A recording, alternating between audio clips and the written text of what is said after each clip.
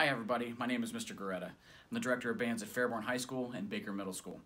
The video you're about to see is of the 2019 Fairborn High School Marching Band and Color Guards performance at the Grand National Marching Band Competition in Indianapolis, Indiana.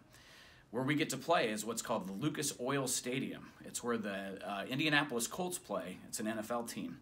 Um, we are lucky enough to be one of 100 marching bands from across the country to be able to go and perform at this huge competition.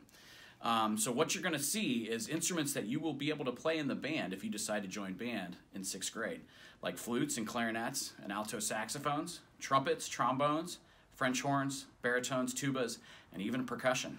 So we hope you enjoy the video, video of our band, and we hope that in the fall we will see you as a part of whatever group that you decide to join, if it's either band, choir, or orchestra. We hope to see you in the fall, and we can't wait to meet you. See ya. Fairborn's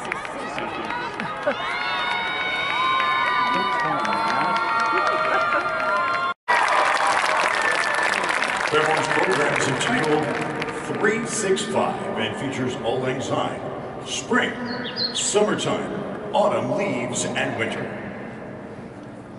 Bands of America is proud to present in grand national preliminary performance drum majors Sarah Apshire and Austin Moore and the Fairborn Marching Skyhawks.